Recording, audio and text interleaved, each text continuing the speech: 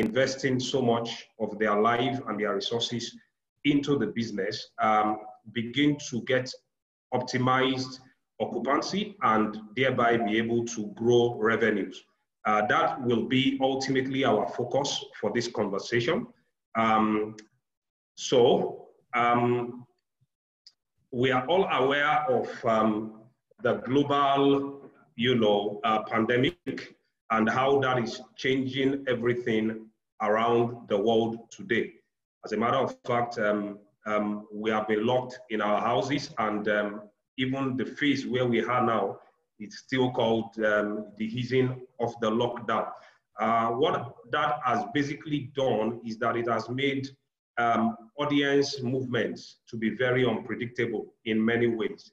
And this affects out of home significantly. And so the question that, you know, is on the mind of advertisers is, uh, and buyers alike, is where is everyone? Where, where is everyone?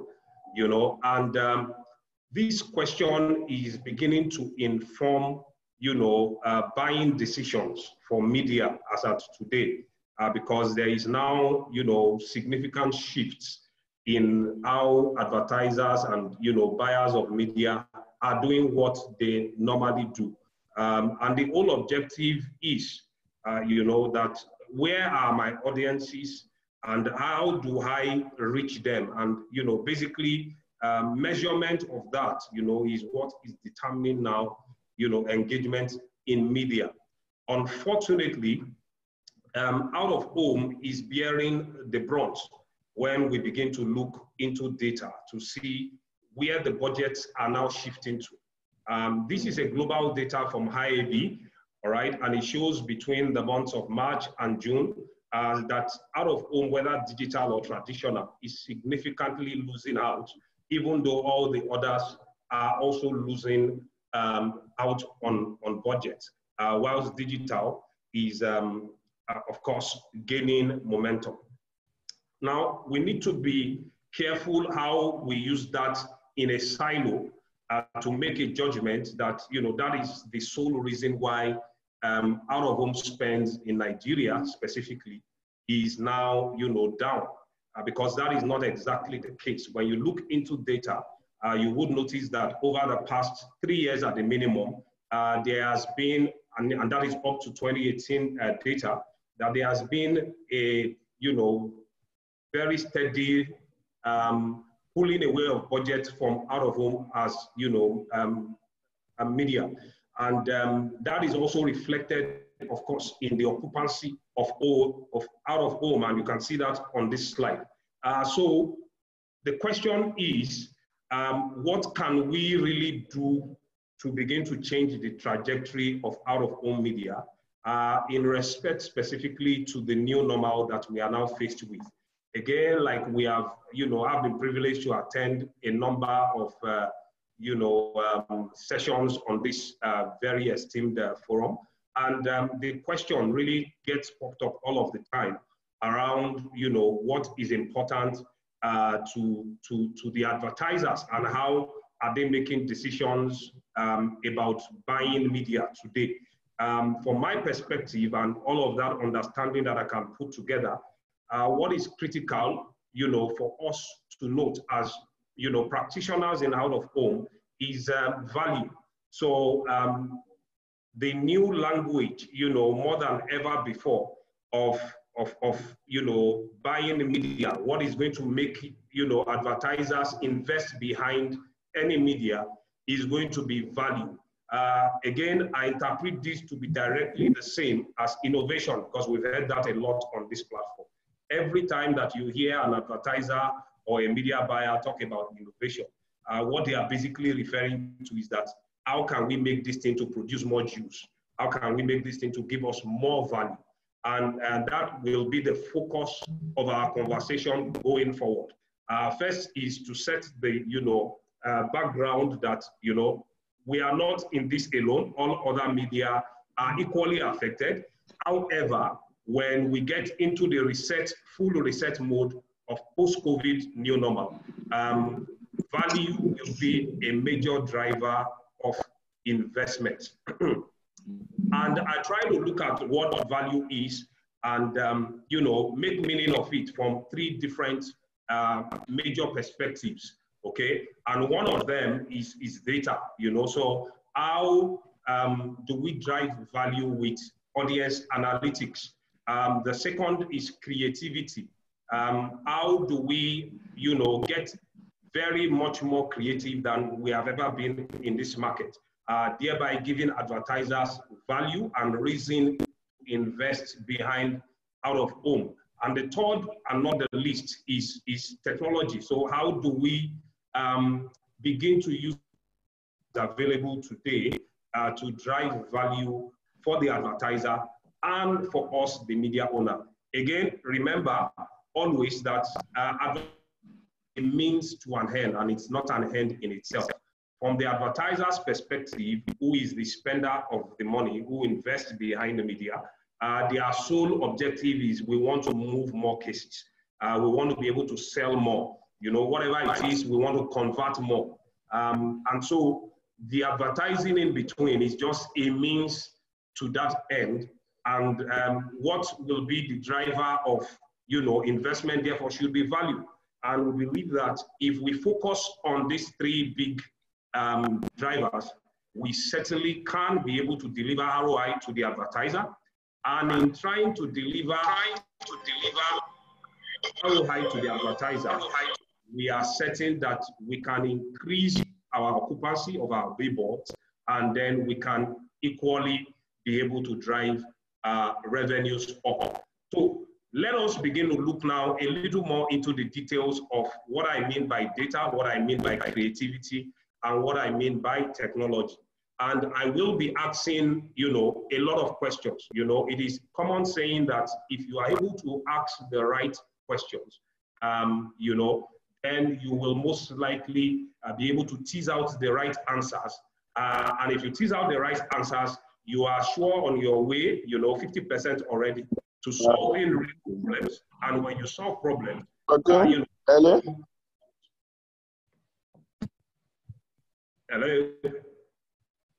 Go ahead, please. Go ahead. Okay. And if you are solving problems, right. you know, there is certainly going to be an exchange of value. So, um, from the out of home perspective, in this case, you solve the problem of um, making sure that advertisers are reaching the right audiences and so on, you get investment in return. And our bottom line is significantly improved. So I have these following questions, you know, uh, and I want us to begin to see from that this this perspectives.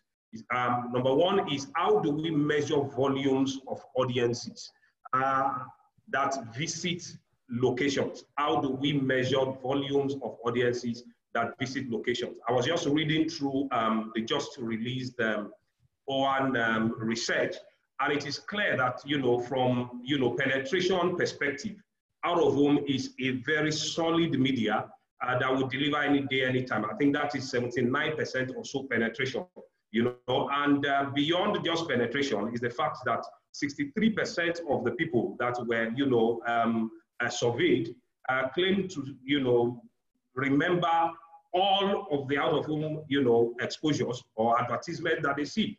And that is very significant. Okay. And, and so how do we make that, you know, in more granular details to begin to work for us? So big question. How do we measure volumes of audiences that visit locations?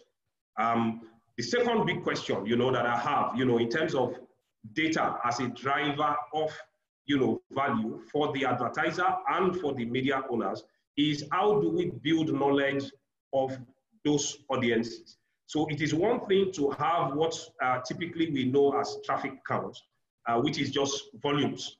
Uh, so a million people were in this location over a period of say one month.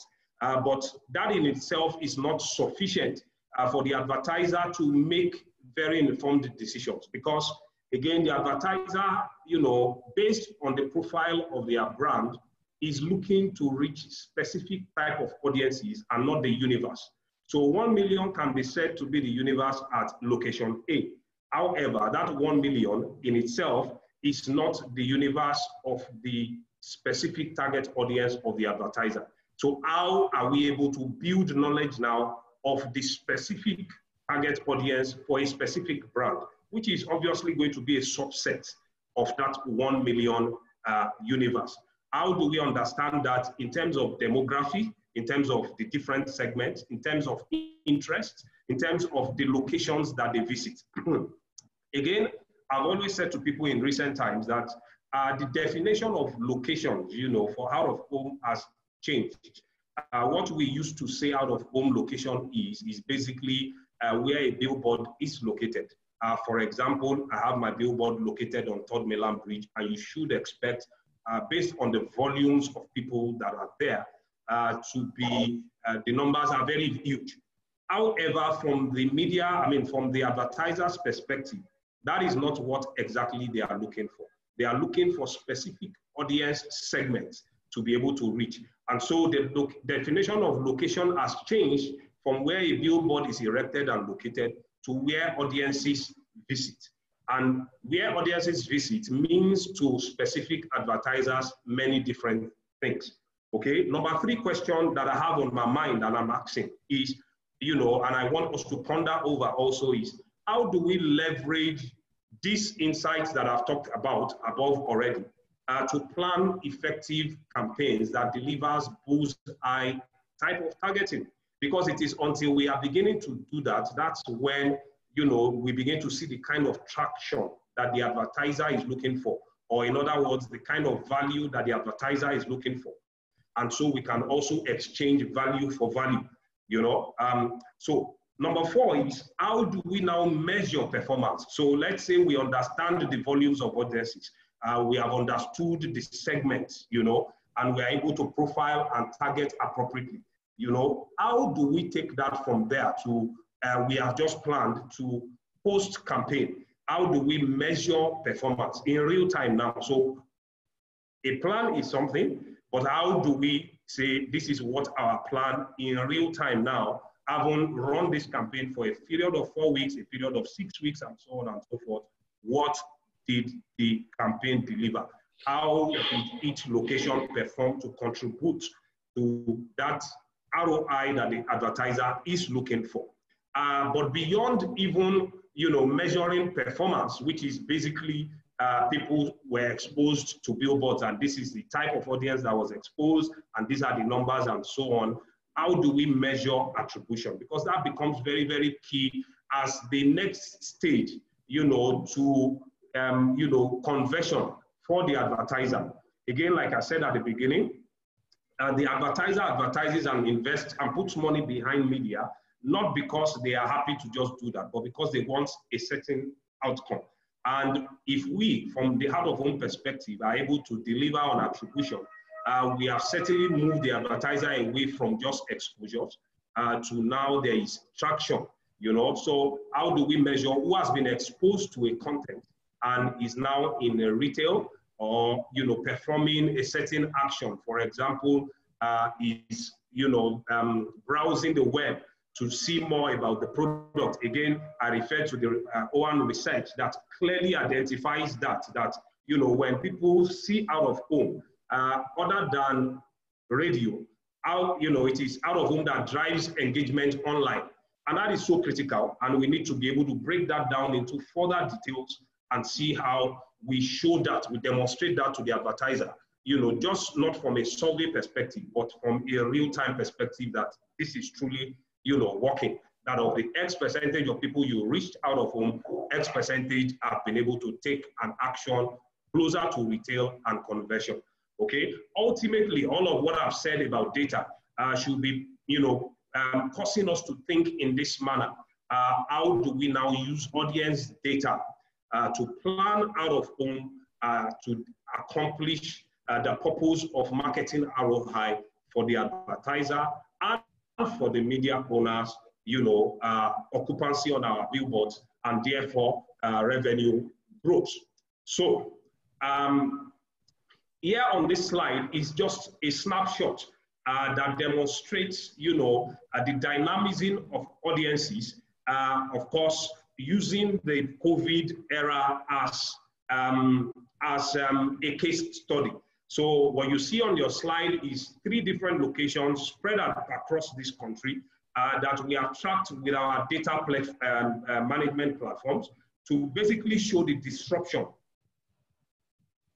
to basically show the disruption of, um, um, you know, of audiences, right? You can close it, please. To basically show the disruption of audiences pre-COVID and what was happening during COVID. And as soon as the lockdown began to be eased, you could already see the audience numbers uh, going up. So this is to say to any advertiser that may be on this platform, you know, this evening, that uh, truly uh, beyond the subjective, uh, uh, you know, interpretation of what we already see that there's a lot of traffic in a city like Lagos, and I believe uh, many other cities around the country, the numbers, audience numbers to really show to you that you can begin to immediately get value from advertising out of home today you know, if you really want to speak to audiences. And depending on, you know, the context uh, of your messaging, you can really make a lot of lasting impact with the consumers that you are and audiences that you are trying to reach. Okay, now this is made possible by, you know, um, our data management platform, which is very robust, I like to say, in nature. Uh, and, you know, on this slide, you basically see um, a snapshot of how we aggregate data. Now, it is important to note that, you know, this is a multi-sensor approach, okay, to um, data collection and processing. Um, and um, any one single one, you know, source of this data could actually provide us um, sufficient data uh, for out of home already. However, we have engaged four different sources, uh, a multi-sensor approach, just to ensure that what we have is of a global standard, is very robust, and is extremely credible. Again, I should also mention as a second that um, the numbers that we have is not a projection, okay, uh, from using this kind of data management platform. It is not um, like a research that you are projecting to the population. It is absolute numbers, okay? So if, you, if, if data shows that you have 3 million people traversing a specific billboard location, and are exposed to content on that billboard within a period of four weeks or one month, uh, that is exactly the number of people that you get to reach as an advertiser. And it begins to inform from the you know, efficiency perspective when you begin to do your CPM, uh, you know, out, out of whom is significantly delivering, you know, um, more than most or even all of the other uh, media types. So one of the um, ways that we collect data is through digital. Uh, what I mean by digital is social media and everything happening uh, in that space, whether it is Foursquare or it is Instagram or it is Twitter, everything happening in public space in you know social media. We are able to harvest data from there in real time and uh, you know integrate onto our data management platform. Uh, the second data set is uh, what you call the Google real-time traffic data. So uh, this basically provides you volumes of data, um, you know, across all locations pan Nigeria already as we speak. Um, the third source of data is a mobile SDK. So um, this is data that is transmitted uh, via apps from your mobile phones or smart devices as you move from one location to other. I mean, what easily comes to mind when you think of this um, uh, data source is the kind of um, uh, data input that Uber and uh, Taxify and all of those, um, you know, transportation uh, companies, um, you know, digital transportation uh, companies use to uh, drive results on their user interfaces. Okay, then you have last but not the least, what we call the LAMP, uh, interpreted location audience measurement platforms. LAMP, location audience measurement platform. Uh, this basically um, is an IoT sensor uh, that is proprietary to us uh, as an organization. What it basically does is that picks um, smart devices via Bluetooth or Wi-Fi, and um, it's able to uh, transmit that information passively to a server. And uh, all of this data across digital traffic, uh, the apps, and the IoT sensors are processed via our proprietary um, APIs, okay? And then we do a lot of machine learning uh, to be able to deliver on output uh, that helps us build uh, real-time knowledge about audiences, okay, and be able to impute that into out of home uh, measurements and standards, you know, um, to be able to drive value ultimately for the media owners and then for the advertisers. Okay, so um, suffice to say that um, this um, approach has been, you know, uh, well investigated and it's been approved by the United States uh, Office of Patents and Trademarks. Uh, so this, this is uh, the best that you will find anywhere uh, in the world. All right. So coming to the second, you know, value driver, which is creativity. So first thing I must first, first thing I must say is that kudos to every media owner that is on the platform. Kudos to also advertisers that also are listening in on this, um, you know, session uh, because we are not new to creativity at all. I mean, I can begin to roll out you know, a lot of creative works that has happened in this market far back as even um, the 2000s, early 2000s, okay?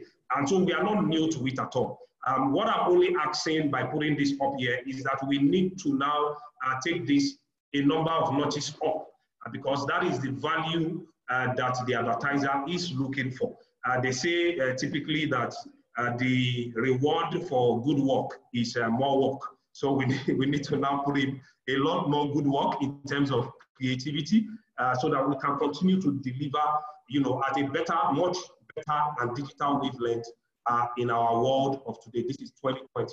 And so I have questions against to ask us. You know, number one question is how do we leverage now audience location insight to drive, you know, messaging? How do we leverage um, audience location insights to drive relevant messaging. Now, from my own perspective and understanding of data, I've interacted with this since at least um, 2016, is that the, uh, the days are far gone when, you know, um, there is a one cap fits all type of campaign being run by advertisers. I think that is a major, major starting point. So if I am brand X and I want to run a campaign, those days are over where I just create one copy and I run that copy on Ocean Outdoor. I run exact same copy on Nimbus Outdoor. I run exact same copy on New Crystal. I run exact same copy on, you know, um, um, Power. I run the same on Invent Media. I, I run the same across all media owners. Those days are far gone. That is not, you know, bringing creativity to what we do. The fact is that based on data and understanding that we have uh, profiles of different locations. There could be a location, for example, um, that has a more cluster, okay, um, um, um premium and white collar um, and type of audiences, more than you would have it at another location B, where maybe for the sake of this illustration, you have a lot more uh, college students that traverse and visit those locations. Now, you can't even have a mass uh, market product, uh, but the way that you speak to these two different types of audiences who are predominant in two different locations must be different from the messaging and relevance perspective and context perspective. So we need to begin to bring that, you know, into bear when we are planning and executing campaigns today than ever before.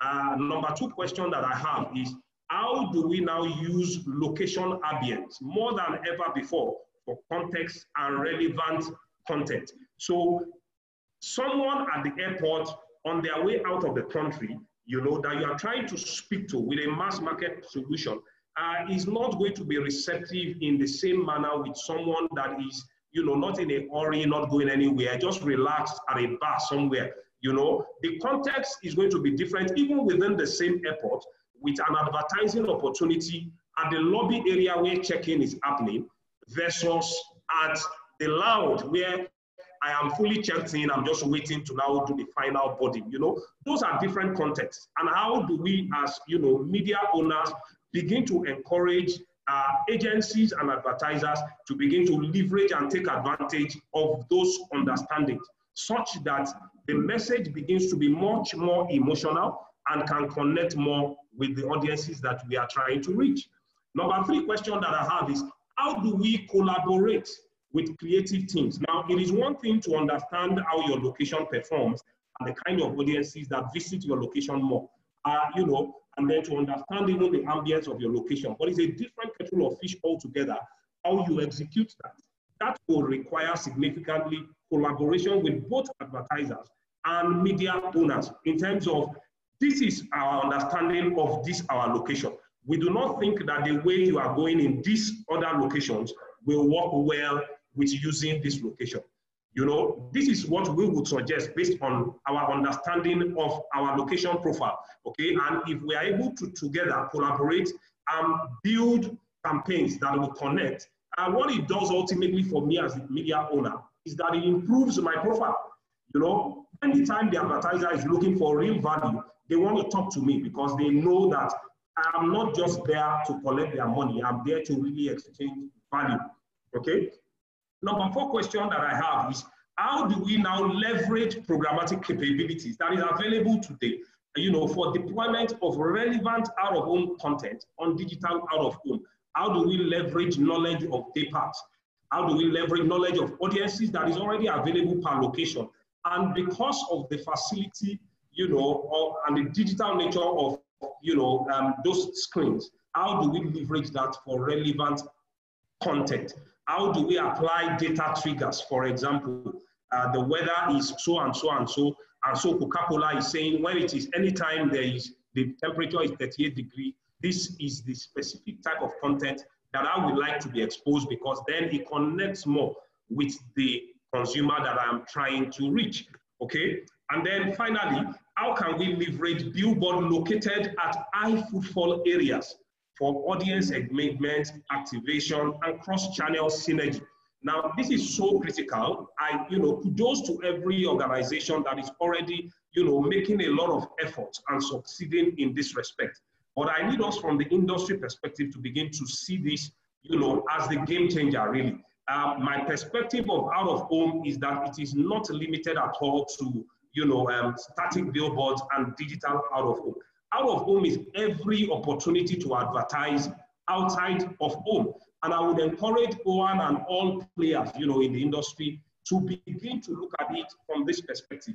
As a matter of fact, if you look at, you know, Africa today, you will hear that South Africa that has a population that is just a fraction of Nigeria, you know, is pulling more in terms of total investment and, you know, behind out of home. One of the reasons why that is so is because we have kind of narrowed into thinking that the static billboards, the roadsides, you know, of static and digital screens are the ones, you know, that are out of home.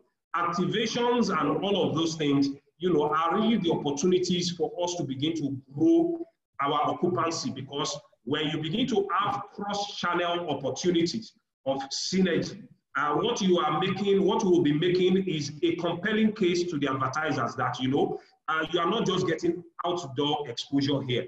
You will get more than that.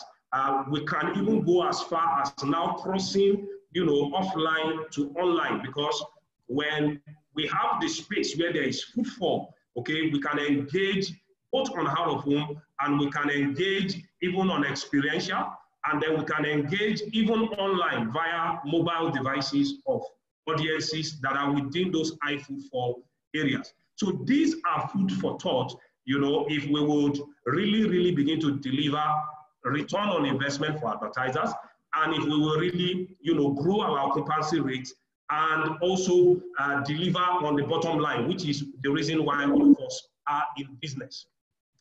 Okay, so I've decided, you know, taking the liberty to just, you know, show us some pictures, uh, you know, um, from a global perspective, how, you know, ambient uh, and um, different, um, you know, out of home has been done.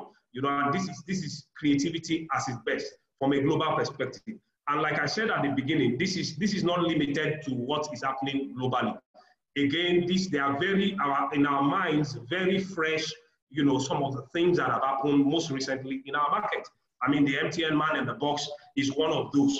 Uh, you can you remember all the different inflatables and big stuff that we have done in those years when out of home was really booming in this market. And we really need to get back to all of that and even take it uh, digital notice up so that we can begin to attract the kind of budget, uh, you know, and occupancy that we want.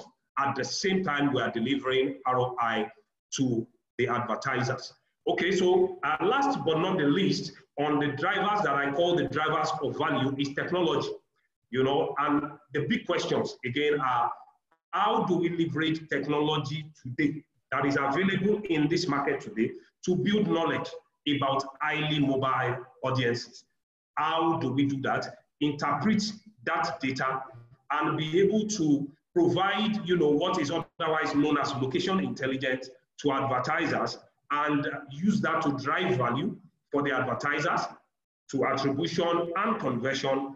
And then, of course, drive up our own um, um, um, occupancy and revenue, you know, uh, bottom, bottom line, okay? Uh, a big, another big question is how do we leverage technology that is available today to drive a common inventory platform? This is extremely, extremely important if the third point of you know leveraging technology for an end-to-end sales automation will be achieved.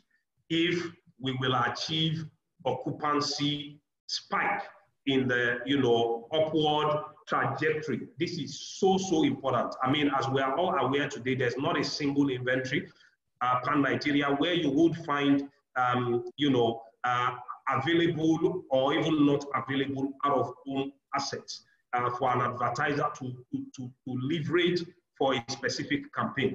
Okay, so I've spent about a decade on the agency side uh, buying out of home, and I can tell you that you know it takes between you know a week, two weeks, or even more for you to be able to aggregate um, you know out of home assets and opportunities and create a proposal that you give to an advertiser anytime they said we need to be able to do X, Y, Z campaigns. Uh, that in itself is a waste of, you know, very productive time that could be, that, that we could otherwise turn around into big opportunities. So how do we put together, you know, using technology uh, on a single platform, inventory, you know, that can then uh, help us within a manner, matter of minutes to generate you know, proposals to advertisers, uh, okay, and to, to clients uh, that can really help them to deliver the objective of any specific campaign that they are trying to achieve. Um, then how does, you know, a media owner leverage that same technology for sales automation? So I've requested, let's say I'm an agency person and I've requested that, you know, XYZ company, can you please uh, give me, you know, billboards that you have that are vacant, you know, uh, and it's taking almost forever for, for media owners to be able to deliver on that simple, so to speak, task. Uh, when you have an inventory management platform, that is just at the click of a button. What is available is obvious. What is not available is obvious. You are able to generate proposals at the speed of light, and thereby you are able to improve on you know the opportunity to now sell uh, because I mean as you are all aware out of maybe 10 proposals that you generate you probably will sell two. Uh, but if in the first instance the sale the speed at which you generate each proposal is three weeks then you can now imagine the turnaround you know um, you know time that you have in the space of 52 weeks in a year. It ultimately comes down to that the fact that it then significantly reduces you know, occupancy opportunity, and then that in itself, you know, begins to uh, affect how much revenue that you can generate as a media owner, and then ultimately also it is affecting how quickly advertisers can begin to drive ROI from their own perspective. Um, another big question is how do we leverage programmatic technology today that is available today for real-time and data-triggered content development? are such that, you know, we are very precise, you know, in the deployment of content to, to, to, um, to consumers and audiences. And uh, when that happens in the moment of truth, um, this, the importance of that is that the implication of that is that uh, we are able to drive up significantly conversion when you are able to reach consumers at the moment of truth. Um, finally, from the technology perspective is, um, you know, how do we now leverage technology to go from offline to online? At one of the sessions that held, you know, on this esteemed platform, I remember that we had a very big conversation of, you know, TV and radio now already uh, being able to sync with, you know, what is happening online uh, via Instagram and Twitter and so on, uh, and Facebook and so on. And people are able to really engage while watching in real time a TV program or engage on radio while listening in to a you know real time program that is happening. And you know that question has been raised: How does out of home you know contribute its own part you know by moving people from offline to online? Like again, I refer to the OAN research that clearly outlines you know that um, out of home is the second only to you know um, um, second only to, to radio in terms of driving traffic from offline to online. But we need to be able to move that even notches up to say, you know, how do we use same technology or data management platforms to now be able to reach audiences in real time that are exposed to out of home content on their mobile devices. Okay, so um, on this next slide, I just wanted to, you know, from a global perspective, share with us uh, an advert, you know, um, using a specific billboard in London. Uh, this is a campaign of uh, uh, British Airways. I'm sure many of us will be familiar with it, but let me just play to us uh, just to remind us what happened in this campaign. Enjoy. Um, um, I will let you know it's likely that that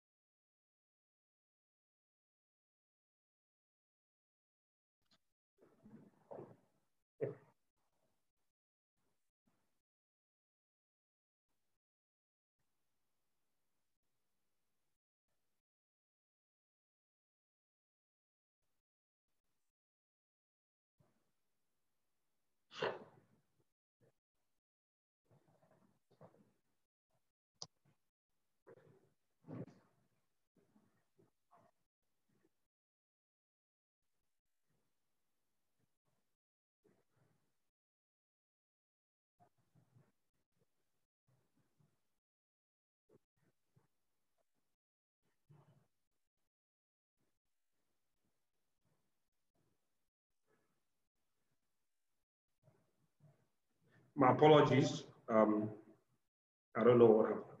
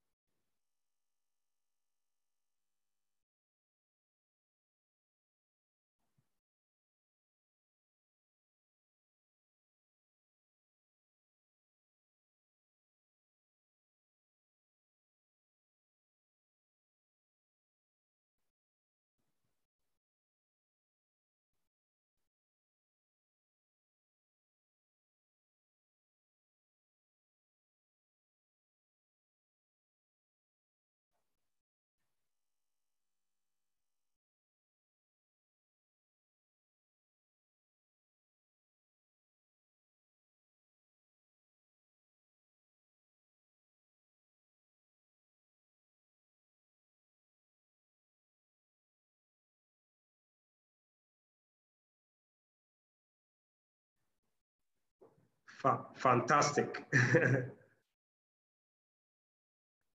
fantastic stuff. I mean, I'm so passionate about out of home. Uh, I mean, you can see in that um, short video how you know this this campaign captured not only attention but went beyond that to even begin to drive sales for for British British Airways. And this is precisely and practically what out of home can do, not uh, only in London, but also in this market. Uh, again, there is always uh, a local application of things that have been done locally. On the slide that you see here, I mean, I'm, I do not know how many of us, you know, uh, will recall, you know, I think it's somewhere in between 2015 or 14 or so, where we did this campaign, you know, on the um, Adeniji LED billboard um, uh, that was broadcasting in real time live scores during a UEFA Champions League uh, match. So, I mean, technology has been available, but more than ever before, uh, there are now very fine triggers, you know, that can help us to really make an impact. And like you would see in the uh, British Airways campaign, is just a, a combination of all the three value drivers that we've talked about so far. Uh, you could see the you know, the contribution of data there. You could see creativity at play, and you could see how technology was simply just facilitating, you know, information that and insights and creativity uh, together. Okay, so what is the implication of all of this in real terms and what is what is possible today you know from the perspective of the advertisers how do we you know uh, leverage available tools today to ensure that uh, advertisers begin to get out of high from advertising with us the media owners in out of home? Uh, so today you find that you know there is available audience um, data and um, advertisers and buyers and agencies can do audience data driven planning uh, that you know gives opportunity uh, for them to within a dashboard uh, view a registry of assets uh, be able to have planning data sets uh, you know that is not just general uh, but that also is segmented into different audience types and we are able to deliver on reach and frequency optimizations that ultimately guarantee that end goal of returning, uh, you know, investment for the advertisers. And, you know, generation of proposal is just at the snap of a finger. Again, there is the opportunity today via tools of buying automation, uh, you know, whereby um, the advertiser or the media agency or buyers can now do automated bookings in real time, uh, be able to see real-time availability of you know, um, um, um, of, of, of assets and uh, opportunities out of home because from the I mean, media owner's perspective and access to an uh, um, uh, inventory management platform, you are able to do those updates, you know, in real time so that whatever you have is not, you are not winking in the dark anymore. There is a global visibility, you know, for your audience and uh, someone from the buying side, whether it is the advertiser or the media buyer, is able to see that and uh, take advantage of the opportunities uh, from a data perspective. All right, so um, you are able to, um, buyers and advertisers are able to do content, you know, approval, you know, just via technology. Um, you have your negotiations that is possible purely online. And then there's a seamless uh, mobile advertising layer, you know, from a buying perspective. Uh, so today with this tool, um, what you can certainly do is to, you know, provide what we call guaranteed audiences, where, you know, um, a combination of billboards, you know, over a period of time, uh, maybe the advertiser has said to the media owner and to the agency, I'm trying to reach 1 million people in the space of seven days, you know, um, in the Ikeja area of Lagos. And, uh, what are the opportunities that best fits my brand profile, you know, in terms of out of home assets now uh, that I can use to be able to push this content out. I'm trying to achieve, you know, the sales of, you know, XYZ cases of our product. Uh, what happens from using this tool is to say, uh, from the available opportunities, can we actually, um, based on our understanding of data, reach 1 million people over this period of seven days? If the answer is yes, then that is fine. If the answer is no, we can only reach maybe 852,000 you know, audiences within the space of, uh, of seven days. Uh, what is certainly possible from you know, the buying automation that we provide is for you to now layer on top of that um, a mobile advertising uh, buy, which is basically crossing from offline to the offline.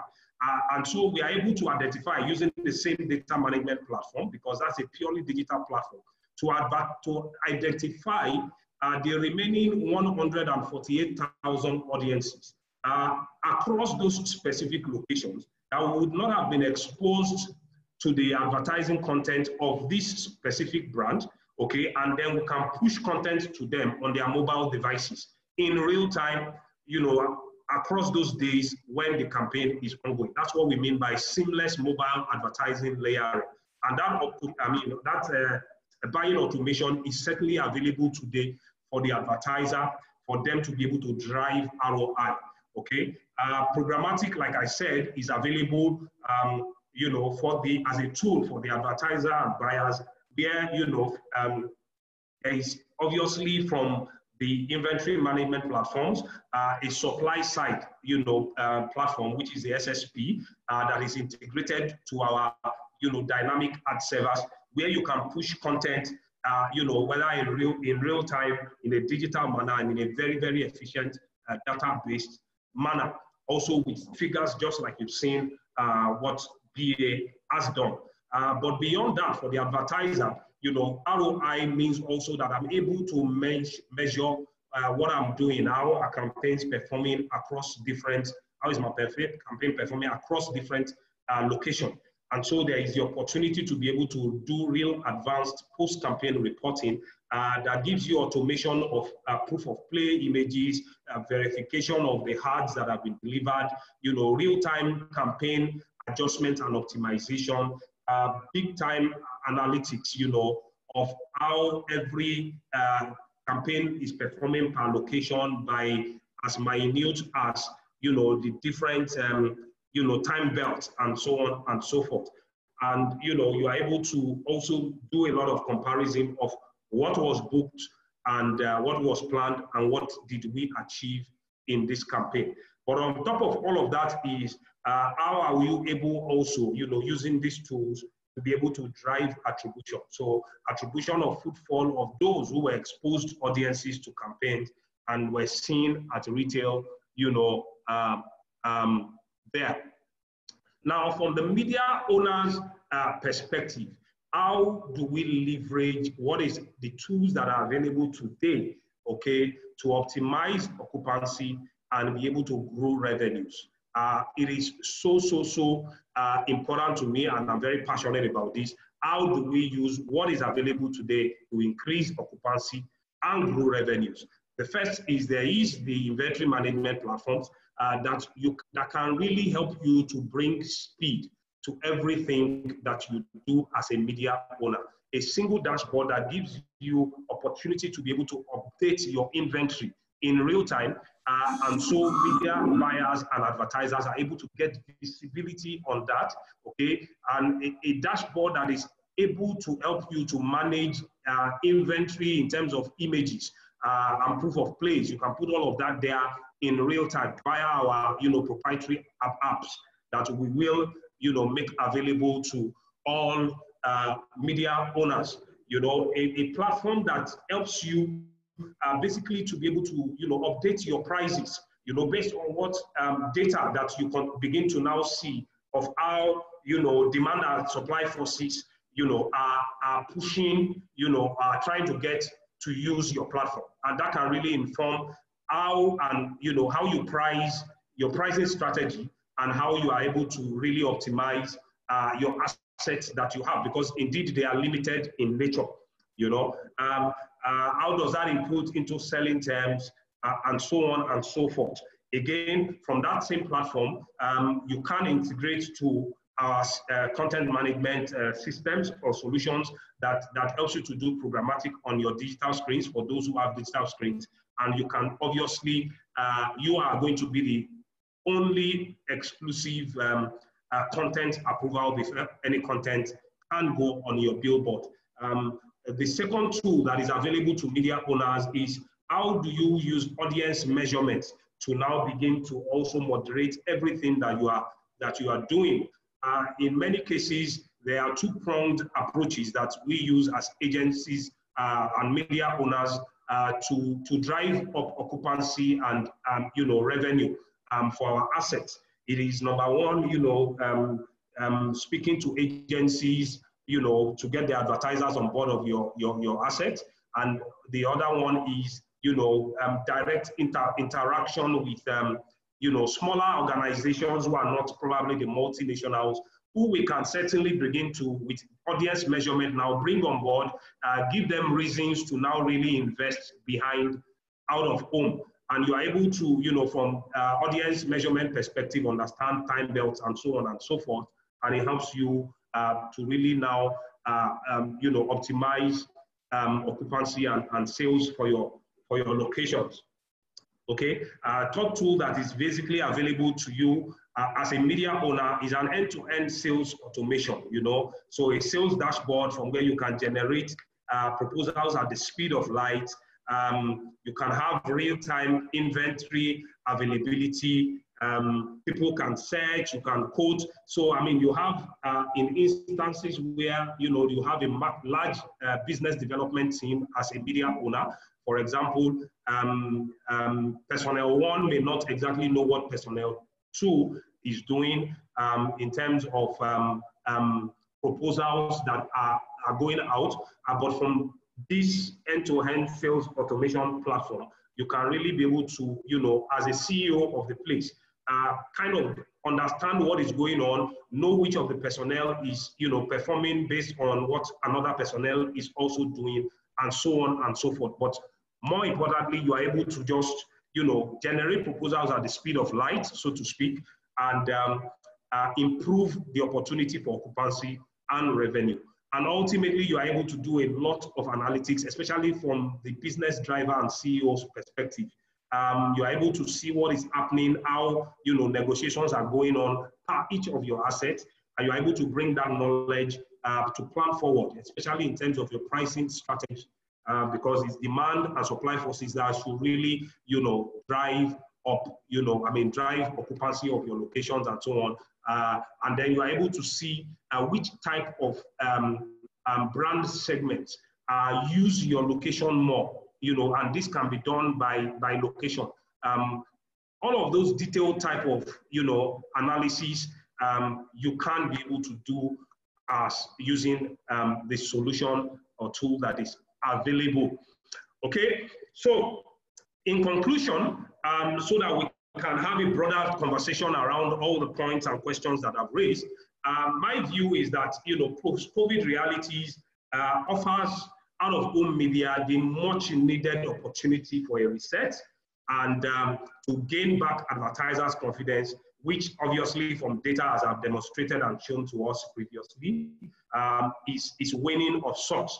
Uh, so, um, and then, you know, how do we, uh, you know, bring back the fortunes to, to out of home um, through, you know, organizing, you know, um, what we do uh, from the digital inventory perspective and so on and so forth, driving, um, you know, value with data, uh, with creativity, with technology, um, to be able to deliver ROI to the advertiser and then ultimately drive up occupancy and uh, revenues uh, for our businesses. Um, thank you very much, Babs, uh, and thank you all for, for, for listening. All right. Thank you so much, Tosan. Um, that was a very insightful uh, presentation. Um, I'm sure the participants um, have gained some some valuable insight as well. So um, we are now at the question and answer segments. Um, so the questions can start rolling in now. I haven't heard um, Tosan's uh, presentation. Uh, we can ask him questions. Um, the rule is that if you want to ask questions, uh, you indicate by a raise of hands. And there is an emoji button that says reaction on your on your screen. You can click on it to show a raise of hand, and you'll be permitted to ask a live question. Uh, otherwise, you can type out in the chat room and ask your questions. Um, so what we're having in the chat room right now are commendations for your presentation so far, Tosan. I think you have done a very wonderful presentation and people are commending it. Thank um, you very much for listening. So I, I have um, the questions, So let me bear the cards. Um, your solution or rather, you've spoken to two major stakeholders here today outdoor media owners and the advertisers. Uh, you've tried to encourage outdoor media owners that uh, they can really drive occupancy and then the advertisers can have a return on investment. Um, so I'll be asking questions broadly right now that speaks to both the advertisers as well as the media owners and inclusive um, we won't leave out the uh, media agencies as well um, we've had a couple of um, solutions um, over over the years uh, that can help to achieve what you have uh, highlighted for us here today. What would you say in in, in specific time um, terms that are unique to um, the proposition that you're sharing with us today?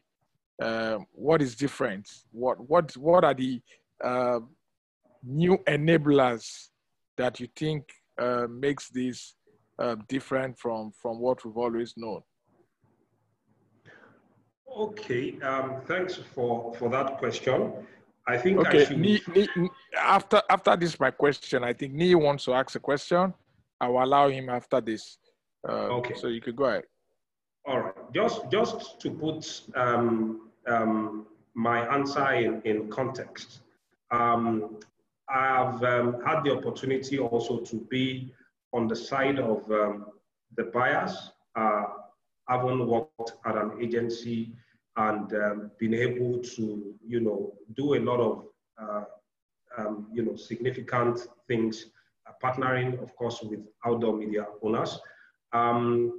My, what led us into this effort. Um, in the first instance is the fact that, you know, at marketing rooms, uh, where we went to, you know, defend proposals, uh, asking advertisers to spend billions of naira um, on out-of-home advertising, uh, what you typically got uh, is some level of reluctance uh, that is driven from the point of, you know, uh, these are so expensive um, I know you have explained to me that, you know, it costs a lot of money uh, to acquire and, you know, erect some of these assets, especially in a place like Lagos. Uh, however, that is not sufficient from, from the ROI perspective for me to defend, you know, this budget uh, before my directors and, and the board and, and so on and the business. Okay, and that basically led us, you know, um, into saying, um, we need to do something, you know, um, then as an agency um, to ensure that uh, we are really uh, and truly delivering uh, ROI for the advertisers. And um, I should mention, uh, you know, in this um, very esteemed forum, uh, I've been part of two such um, very proprietary and unique efforts to do that. Um, and um, one of them is in the fact that um, uh, working with something that TMKG started then uh, called BSV, okay, uh, but billboard site valuation that kind of um, from a zero to 100 uh, rated billboards, uh, we were able to, you know, kind of give some sense of value to the advertiser uh, per location by the type of billboard. however, that was a very um, insufficient effort. And um, I recall that in sometime 2016, uh, we then engaged in a much bigger effort uh, to commission a traffic count and a travel survey, okay, um, using Lagos as a case study.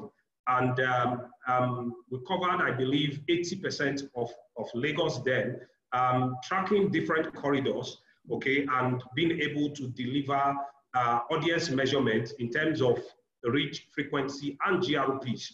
Uh, all of that data was integrated into a um, software uh, that we called then uh, Media Audience Look Software, uh, Malus. It was a proprietary software. Okay. However, the the the uh, um, the the the short fall or shortcoming of that is that um, that to organize a traffic count and uh, a travel survey is uh, very static in nature. How many times are you going to be able to do that um, in a year? Uh, how long um, do you, um, you know, the audiences are dynamic. Uh, and so it will require a digital, you know, technology to really be able to make sense of um, audiences in real time that is most useful for the advertisers if uh, ROI is the objective. And so that um, solution, even as good as it was, and to the best of my knowledge, nothing existing, um, you know, um, in the market um, to that level, you know, from my own perspective, um, was, you know, um, not sufficient. Uh, and so we have now invested, you know, as an advertising technology business in, um, you know, um, gathering information that helps us provide location intelligence. And like I showed to us in the presentation, um, we are not relying on one source of data. Um, this is a multi-sensor type of um, um, data aggregation and integration that is second to none anywhere in the world. As a matter of fact, as I speak to you, um, the general data that is available in the United States today, provided by Geopath, um, it is not uh, as robust as this one because uh, that one does not uh, factor in some of the other sources that we have now aggregated into the data uh, that we are providing in Nigerian market. So in other words, what I'm saying to us uh, media owners is that uh, the best of the best of you know audience measurement in terms of viewability available in the world is now in this country, and that is second to none, you know, anywhere else. I hope that answers your question. All right, um, fair enough. Um, my question is actually on behalf of the participants, so I'm sure I, am sure that they are pleased with that. Okay, uh, let me see if Nee is still still there, raising up his hands. Uh, Nee, if you want to ask the live, live question, you must be ready to um, um, put on your video and, and then you can go ahead. I've enabled for you to unmute and then you can ask the live questions. Others are posting questions in the chat room. So you and I can start reading out, yeah. but after Nee's um, question. All right, Nee, you have the floor. Okay, uh, uh, good afternoon, everybody. Uh, uh Mr. President of OAN and all other protocols observed.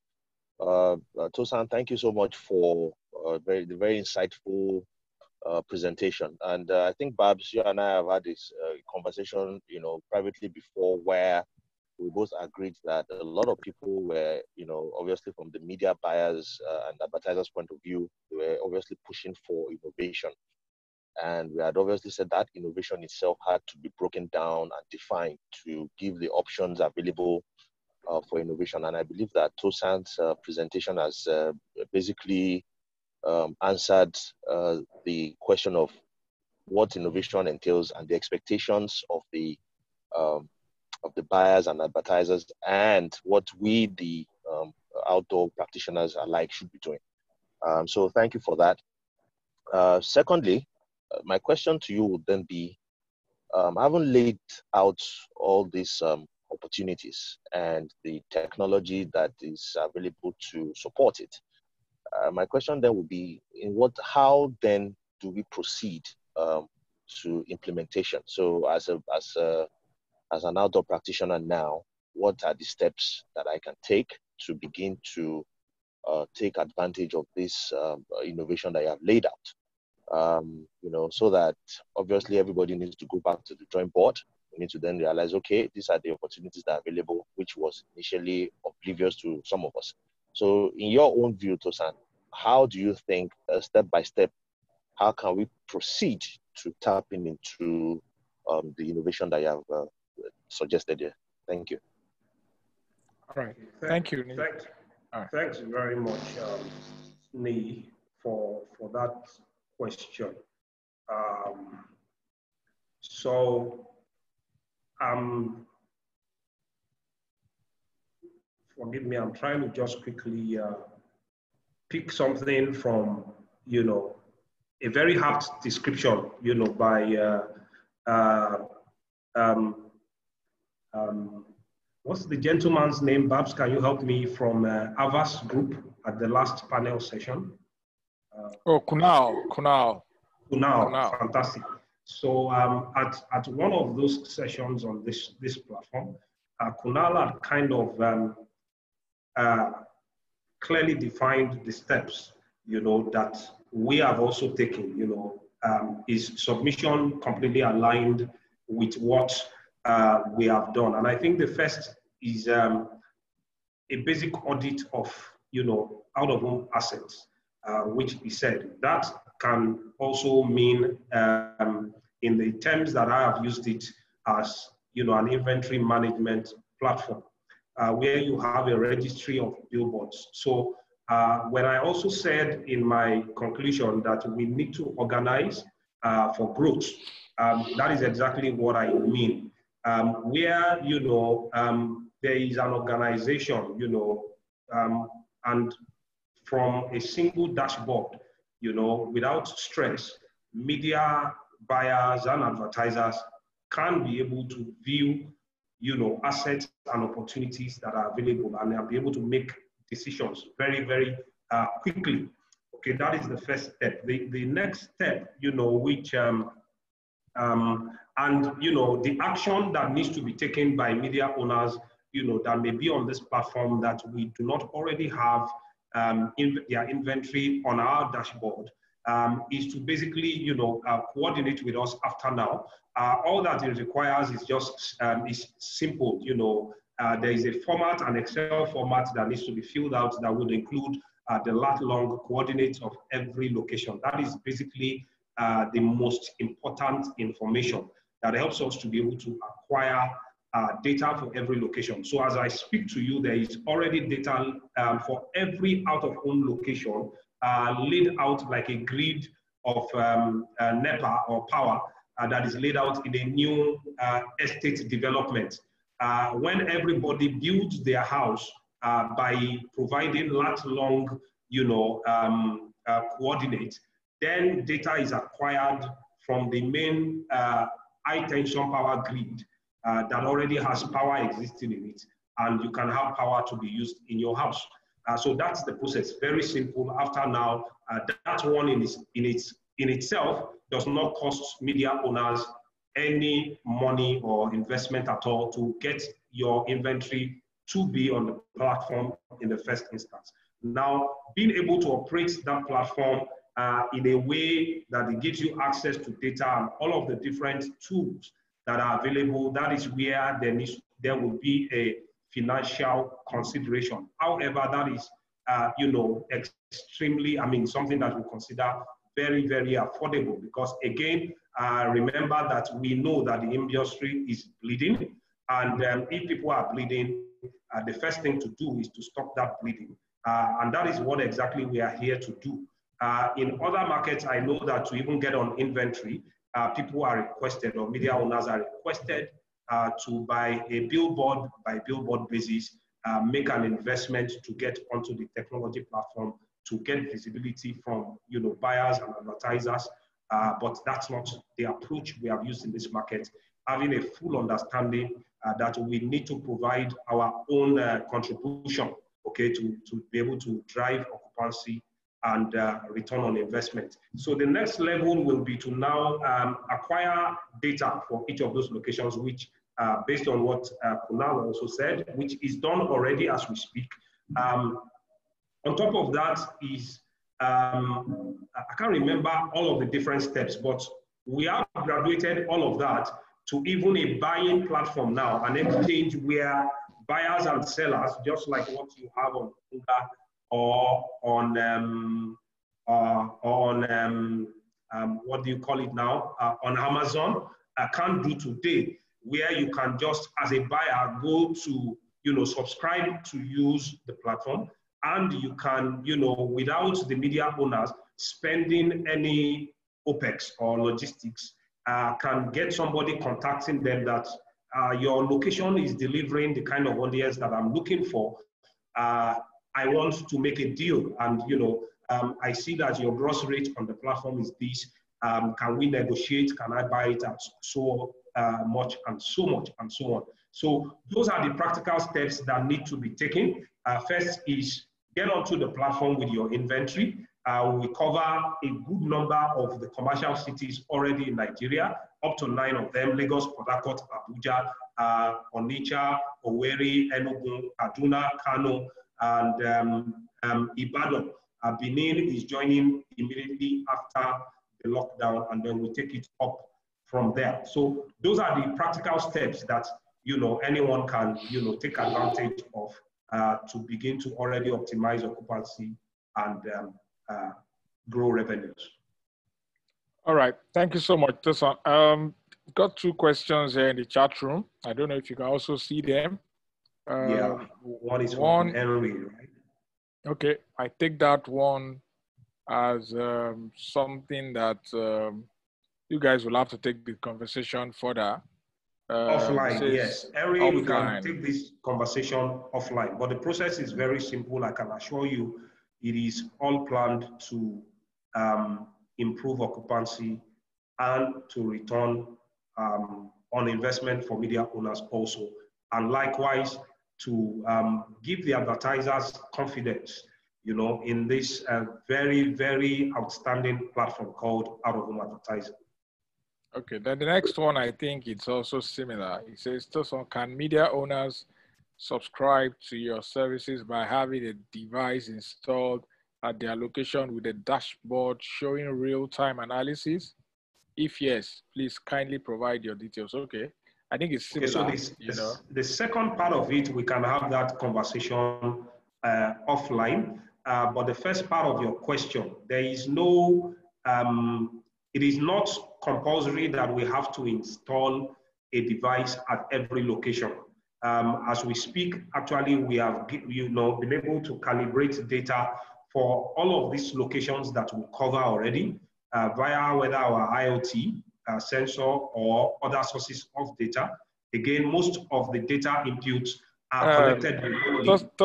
you need to help all participants here to come up to speed with you. You just said IoT now. Um, okay. So these nuggets, you need to um, introduce better. You don't okay. use acronyms. Uh, my exactly. my apologies. So what I mean by IoT. So earlier in the presentation, I uh, showed a slide uh, that um, kind of just demos, um, you know, give a snapshot of our data uh, management platform or the data ecosystem that we ride on. Uh, one thing I also said was that it is a multi-sensor approach uh, to determine viewability for out-of-home uh, measurement that we have taken, and that is the best approach that is available yet in the world today. And it brings together a number of sources uh, of data. One of those sources is uh, what you can refer to digital. And when I say digital, I mean everything happening in social media, on Instagram, on Twitter, if you use Foursquare and on search, all of that um, uh, data is integrated onto the platform. And so we are able to glean, uh, you know, information about audiences, uh, um, uh, anonymous information, but unique information, all right? Um, the second source of data that also we leverage on our data management platform and integrate is um, from Google, which is um, the Google real-time traffic data. Uh, that kind of provides uh, volumes of data, whether people are in vehicles or people are pedestrians across all the different locations and geographies pan Nigeria. Uh, the third source of data that we also integrate and process is um, what I call the mobile SDK. Uh, what that means is simply uh, apps that are on our smart devices are transmitting data to the cloud. So we all have the WhatsApp, we have all different kind of apps. All of those apps, you know, when you download them, you, you click on certain permissions, and it is those uh, permissions that gives access, you know, um, to information that is, you know, basically transmitted and we are able to you know, integrate all of that data onto our platforms to make sense of audiences and their, their movements and their profiles, their preferences, their interests, and so on and so forth. Then there is the final uh, data uh, input, which is the only hardware that is deployed, you know, on our data management platform, uh, which is called a lamp. LAMP as an acronym for Location Audience Measurement Platforms. Uh, the LAMP is actually a proprietary IoT, and what I mean by IoT is Internet of Things device. Uh, an Internet of Things device helps you to be able to do machine learning, and it transcends beyond that even to augmented, I mean, sorry, uh, artificial intelligence. All right, so we have all of that, um, you know, data input uh, is aggregated, is weighted, you know, um, considering certainly uh, population numbers and all of that, and you have absolute numbers uh, for every location as against projected numbers, which is the best any survey can give to you. Uh, in fact, we are all aware that the industry tool that is used for electronic media today has a database of about 22,000. Now, I can announce to us, you know, um, with all sense of modesty, uh, that we are all, you know, uh, privileged as, you know, practitioners together to now be leading the charge in terms of audience measurement in this market, uh, out of home now offers you the very best possible uh, audience measurement and data management platforms that is available anywhere in the world, better than any technology or research that is done presently in this market and in most, most, most markets. Uh, so um, to come back to answer that question, if you, you know, subscribe and get access to the uh, dashboard to be able to access all those details of analysis, yes, you will have for seamless um, integration into your, your platform, you know, to answer uh, Funlade's uh, question. Okay, all right. There's another question here from Wale. Says, um, Hi, Tosan, please, what is the impact of this on the privacy of the audience?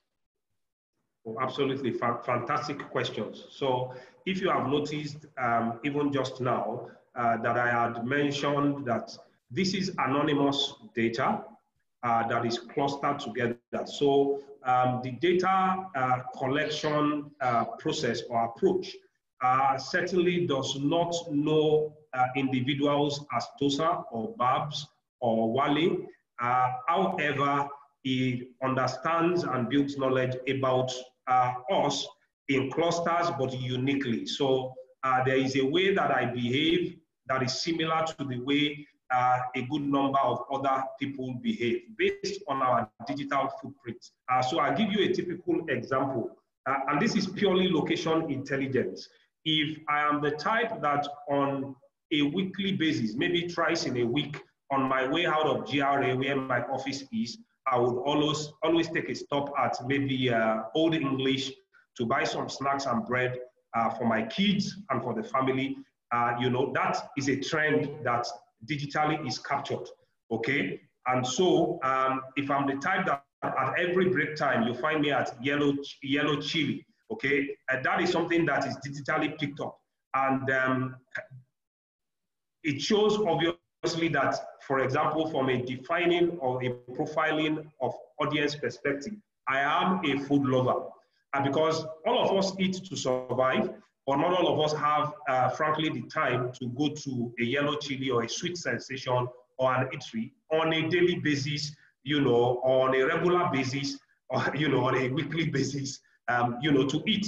Uh, most of us probably would order that food that helps us to just get going uh, we don't necessarily visit those locations. And so um, if there's someone else also that, you know, visits the gym, for example, on a very frequent basis, maybe three or four times in a week, over a defined period that, you know, you can say that this is a behavior, then digitally we are able to pick that in aggregate and make sense of that data to say, this person is a fitness enthusiast. Okay, if there's one that is a technology enthusiast, you easily be able to also um, know that. Now, all of that data is anonymous, uh, but it is unique in the fact that uh, you are able to really distill uh, profiles of audiences based on location, based on preferences, and based on interest. So again, let me say finally to, on that note that uh, this approach has been patented from the Office of Patents and Trademarks in the United States, uh, where you would argue that you know uh, privacy is the biggest of concerns anywhere in the world, and uh, that agenda is pushed, and they would never have approved, I mean, approved, you know, or trademarked or patented uh, any solution that is, uh, you know, infringing on privacy rights of uh, individuals. All right. The next question is from Judith. It says, how do you intend to manage downtime if it does happen? How are you planning to mitigate against any challenges that might occur, especially the fact that this is a first time? Okay. Thank, thank you very much, Judy, for the question. so um, I love because um, a great question, but because I'm more excited even about answering um, the question and providing some further information. So first to note is the fact that uh, this solution is a cloud-based solution. Uh, when you talk about real-time audience um, uh, measurement and uh, viewability numbers, uh, it has to be uh, in the cloud. It is not a software that is, um, you know, um, um, you know, um, installed into anybody's system. So with a simple credential of a username and a password, everyone can easily uh, just get access to the platform. So in the first instance, it's a cloud-based solution. Um, can there be um, a downtime? The answer is yes. Uh, but will it be fixed, um, you know, very quickly? The answer also, um, from our perspective, is yes. Now, when you mention that this is the first time, uh, uh, I like that point because it provides me the opportunity to provide uh, further clarity about this solution. Now, uh, ICL does not do this all by ourselves. We actually have a technology partner, okay, a strategic partner uh, called Moving Walls. You know, after this session, you may want to Google uh, who Moving Walls is. So Moving Walls is um, a leading location intelligence uh, provider globally. Uh, they are based out of Asia, but certainly with footprint in San Francisco, the very hub of technology in the United States. Uh, and this solution is also run in the United States. So these have been applied across three continents already. Uh, before Nigeria is now, and Africa is now joining. So this is something that has been well tested and as you know, is uh, proven to have met all standards available. Uh, what I can assure you also is that we have a large pool of technology back-end guys working across from multiple countries, not just um, you know one country. People are working out of Singapore, Malaysia, India simultaneously to ensure that this solution maintains uh, that standard that has been proven in other markets. I, I must also mention finally uh, that this solution has been already adopted in a number of markets, including the Singapore market, as the de facto, you know, for uh, out-of-home measurement and uh, planning. I hope All right. that answers. Thank you.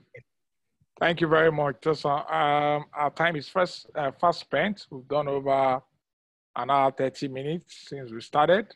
Um, in the absence of any additional questions, uh, we might just be wrapping up.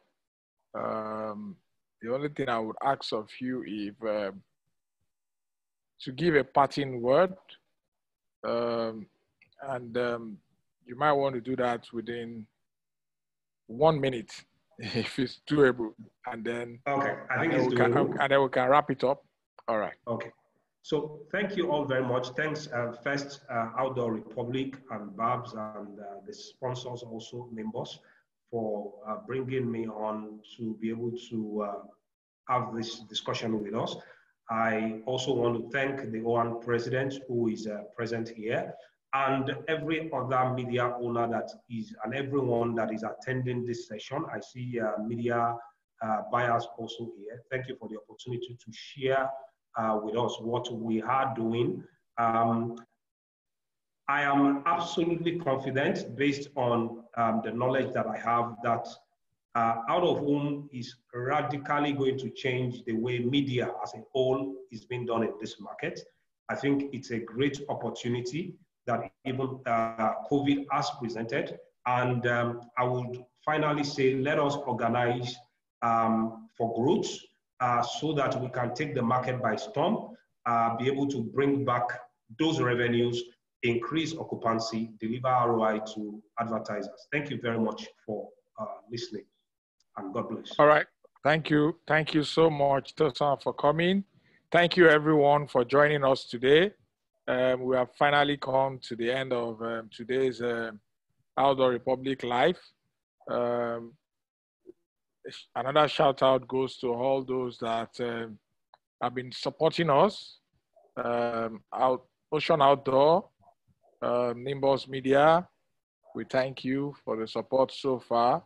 And then our guest, Tosan, we thank you for all the nuggets that you've dropped here today.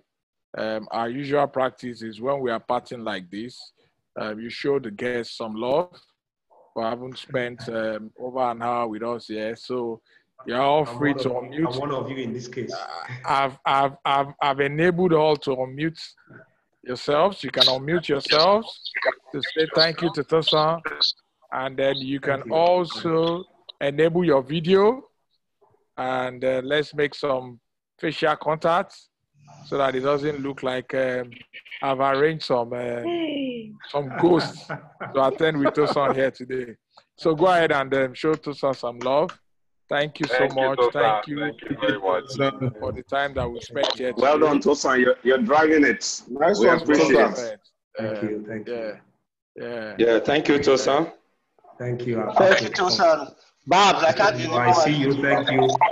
Thank Uh, you all. Thank you all for being here today. Thank you, Thank Tosan. Well done. Well, well done, all. Babs. you. You're driving this too. I appreciate everyone for being here. very much. Thank you. Thank you. Well done, Tosan.